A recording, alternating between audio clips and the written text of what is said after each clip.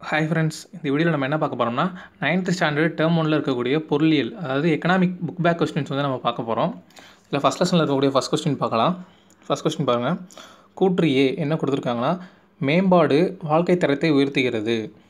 அதுக்கு காரணம் என்ன கொடுத்துருக்காங்கன்னு பார்த்தீங்கன்னா மக்களின் அதிக வருவாய் சிறந்த கல்வி உடல்நலம் மற்றும் ஊட்டச்சத்து குறைந்த வறுமை பெறுவார்கள் அப்படின்னு கொடுத்துருக்காங்க. இது பார்த்திங்கன்னா காரணமும் சரி கூற்றும் சரி. காரணம் வந்துட்டு கூற்றை சரியாக விளக்குகிறது. ஸோ ஃபஸ்ட் கொஸ்டினுக்கு ஃபஸ்ட் ஆப்ஷன் சரியானது. அடுத்த ரெண்டாவது கொஸ்டின் மனிதவளம் என்னும் சொல் குறிப்பிடுவது என்னென்னு பார்த்தீங்கன்னா ஒட்டுமொத்த மக்களின் திறமையை குறிப்பிடும். ஸோ செகண்ட் கொஸ்டினுக்கு ஃபோர்த் ஆப்ஷன் அடுத்த தேர்டு கொஸ்டின் நாடுகளுக்கு இடையேயான மேம்பாட்டை ஒப்பிட அவர்களின் மிக முக்கிய பண்புகளில் ஒன்றாக கருதப்படுவது எதுன்னு பார்த்தீங்கன்னா வருமானம். மிக முக்கியமான பண்புகளில் ஒன்றாக கருதப்படுவது வருமானம். ஸோ தேர்டு கொஸ்டினுக்கு செகண்ட் ஆப்ஷன்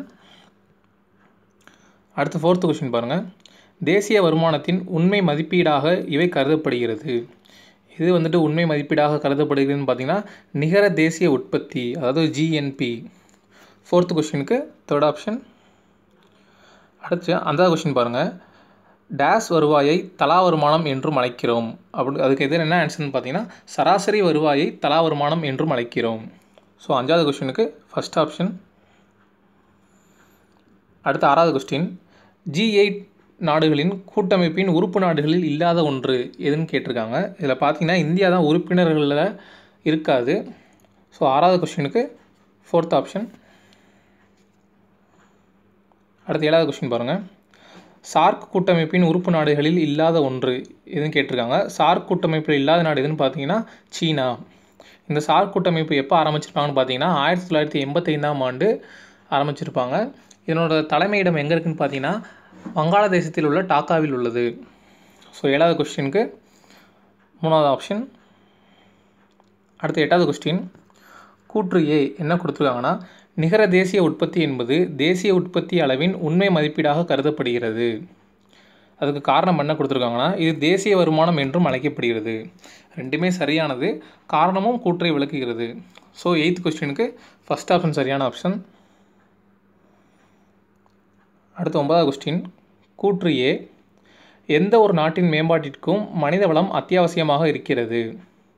இதுக்கு காரணம் ஆறு என்ன கொடுத்துருக்காங்கன்னா கல்வி மற்றும் மக்கள் நலத்தில் முதலீடு செய்வதன் விளைவாக அவர்களின் எதிர்காலத்தில் அதிக அளவு பலன் கிடைக்கும். ஸோ இது ரெண்டுமே சரியானது. காரணம் கூற்றை விளக்குகிறது. ஸோ நைன்த் கொஸ்டினுக்கு ஃபஸ்ட் ஆப்ஷன் அடுத்து பத்தாவது கொஸ்டின் மனிதவள மேம்பாட்டு குறியீடு கணக்கில் பின்வரும் எந்த பரிணாமத்தை எடுத்துக்கொள்ளவில்லை. எதை எடுத்துக்கொள்ள மாட்டாங்கன்னு பார்த்தீங்கன்னா பாலினம். ஸோ பத்தாவது கொஸ்டினுக்கு ஃபஸ்ட் ஆப்ஷன் அடுத்து பதினோராவது கொஸ்டின் பாருங்கள் பின்வரும் எம் மாநிலத்தின் கல்வியறிவு தேசிய கல்வியறிவு விகிதத்தை காட்டிலும் அதிகமாக உள்ளது.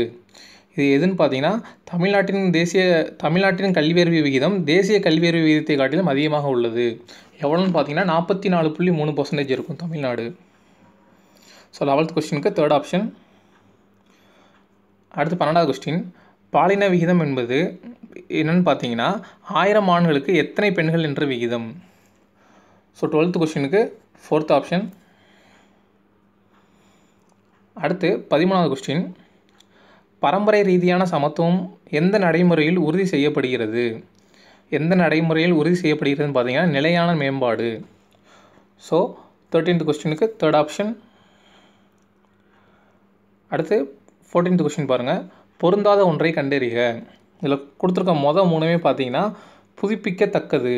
சூரியாற்றல் காற்று காகிதம் எல்லாமே புதுப்பிக்கத்தக்க வளம்.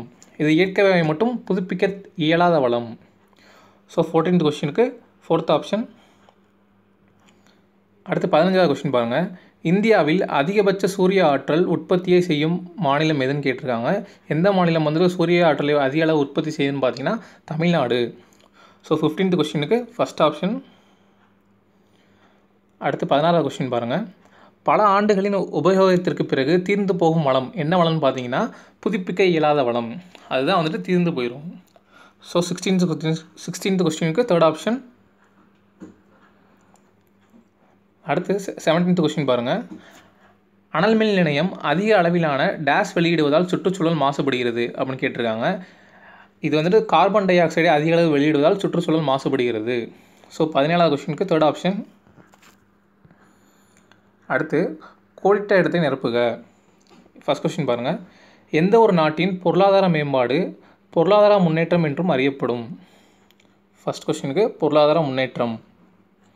அடுத்து ரெண்டாவது மனிதவள மேம்பாட்டு அமைச்சகத்தின் தலைமையகம் எங்கே உள்ளதுன்னு கேட்டிருக்காங்க.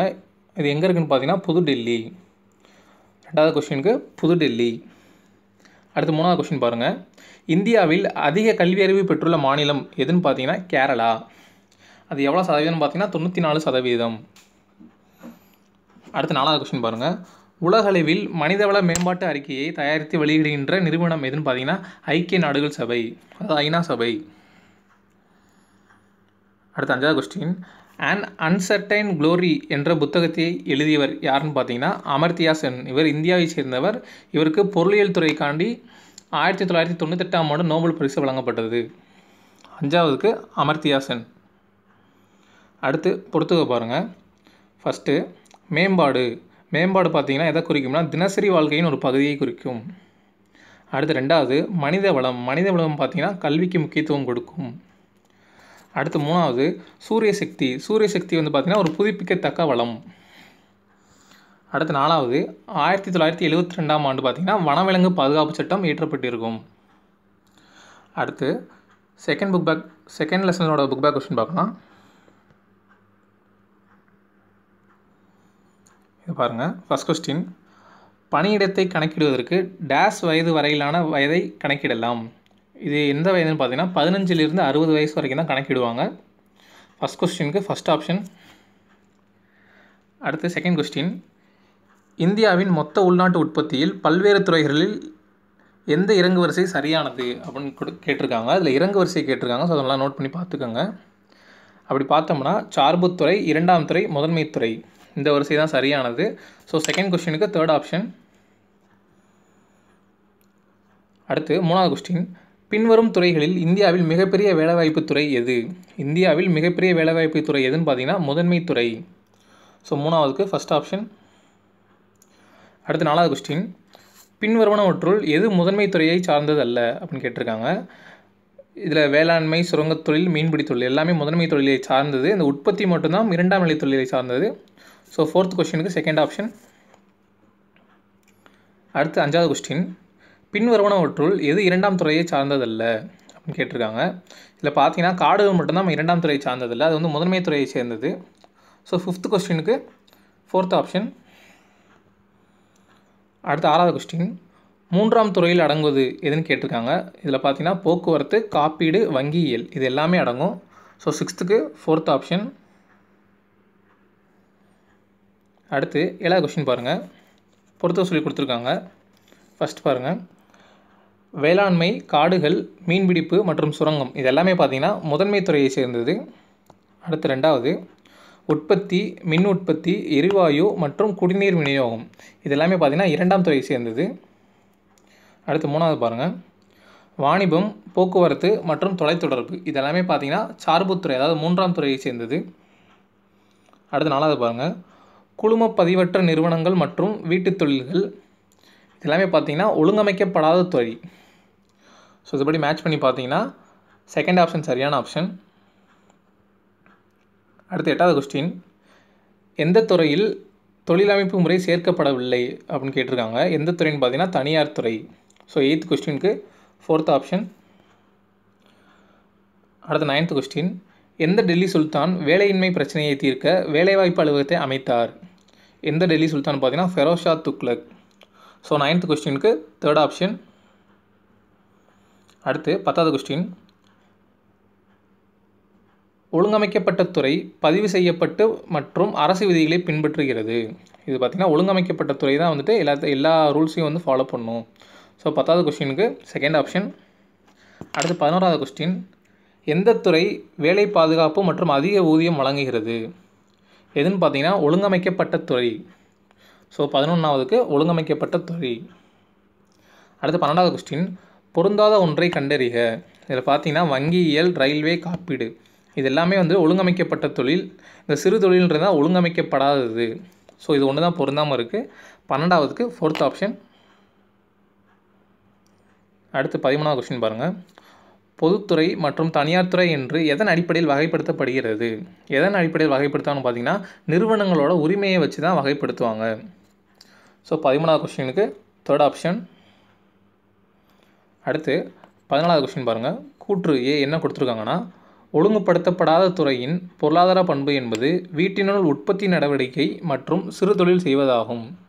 இதுக்கு காரணம் என்ன கொடுத்துருக்காங்கன்னு பார்த்தீங்கன்னா இங்கு குறைவான ஊதியமும் மற்றும் வேலைகள் முறையாக வழங்கப்படுவதில்லை. இது ரெண்டுமே சரி. ஆனால் காரணம் பார்த்தீங்கன்னா கூற்றை சரியாக விளக்கவில்லை. ஸோ பதினாலாவது கொஸ்டினுக்கு செகண்ட் ஆப்ஷன் அடுத்து பதினஞ்சாவது கொஸ்டின் தொழிலாளர்களை பணியமர்த்துபவர்களாகவும் தங்கள் பணிக்கான வெகுமதிகளை செலுத்தும் நபர்களாகவும் உள்ளவர் யாருன்னு பார்த்தீங்கன்னா முதலாளிகள். ஸோ ஃபிஃப்டீன்த் கொஸ்டினுக்கு செகண்ட் ஆப்ஷன் அடுத்து தமிழ்நாட்டில் எந்த துறையில் அதிக நபர்கள் வேலைக்கு அமர்த்தப்படுகிறார்கள்? எந்த வே- எந்த துறைக்குன்னு பார்த்தீங்கன்னா வேளாண்மை துறைக்கு. ஸோ சிக்ஸ்டீன்த் கொஸ்டினுக்கு ஃபஸ்ட் ஆப்ஷன் அடுத்து கோடிடங்களை நிரப்புக. ஃபஸ்ட் கொஸ்டின் பாருங்கள் எந்த துறையில் வேலைவாய்ப்புகள் நிலையான மற்றும் முறையானவை அல்ல? எந்த துறைன்னு பார்த்தீங்கன்னா ஒழுங்கமைக்கப்படாத துறை. அடுத்து ரெண்டாவது கொஸ்டின் பொருளாதார நடவடிக்கைகள் பொது மற்றும் தனியார் துறைகளாக வகைப்படுத்தப்படுகின்றன. அடுத்து மூணாவது கொஸ்டின் பாருங்கள் வேலைவாய்ப்பு எப்போதும் இந்தியாவின் வளர்ச்சிக் கொள்கையில் ஒரு முக்கிய உறுப்பு இடம் பெற்றுள்ளது. மூணாவதுக்கு வேலைவாய்ப்பு. அடுத்து நாலாவது பாருங்கள் வேலைவாய்ப்பு முறை மாற்றத்திற்கான காரணம் என்னன்னு பார்த்தீங்கன்னா மக்களின் வாழ்க்கை முறை. நாலாவது கொஸ்டினுக்கு மக்களின் வாழ்க்கை முறை. அடுத்து அஞ்சாவது கொஸ்டின் பாருங்கள் இந்தியாவில் வேலைவாய்ப்பின் தன்மை என்னன்னு பார்த்தீங்கன்னா அது வந்து பல பரிணாமங்களில் சேர்ந்திருக்கும். ஸோ அஞ்சாவதுக்கு பல பரிணாமங்கள். அடுத்து ஆறாவது கொஸ்டின் உழைப்போர் குழுவின் பொருளாதாரம் என்பது நாட்டு மக்களின் எண்ணிக்கை உழைக்கும் மற்றும் பெற்றவர்களை குறிக்கும். ஆறாவது கொஸ்டினுக்கு பார்த்தீங்கன்னா உழைப்பாளர் உழைப்போர் குழு. அடுத்து ஏழாவது கொஸ்டின் பொதுத்துறை என்பது அரசு நிர்வகிக்கும் துறையை சேர்ந்ததாகும். பொதுத்துறை என்பது அரசு நிர்வகிக்கும் துறையை சார்ந்ததாகும். அடுத்து பொறுத்துக்க பாருங்கள் பொதுத்துறை பொதுத்துறை பார்த்திங்கன்னா சேவை நோக்கம் கொண்டது. அடுத்து தனியார் துறை தனியார் துறை பார்த்திங்கன்னா லாப நோக்கம் கொண்டது. அடுத்து மூணாவது முதன்மைத்துறை முதன்மைத்துறை எதுன்னு பார்த்தீங்கன்னா கோழி வளர்ப்பு இந்த மாதிரி சுங்கத்தொழில் இதெல்லாம் வரும். அடுத்து நாலாவது சார்புத்துறை சார்புத்துறைன்றது மூன்றாம் துறை. இது பார்த்திங்கன்னா வங்கியியல். ஓகே ஃப்ரெண்ட்ஸ் இந்த வீடியோ உங்களுக்கு பிடிச்சிச்சுன்னா லைக் பண்ணுங்கள் ஷேர் பண்ணுங்கள் ஏதாச்சும் டவுட் இருந்துச்சுன்னா கமெண்ட் பண்ணுங்கள் ஓகே ஃப்ரெண்ட்ஸ் தேங்க்யூ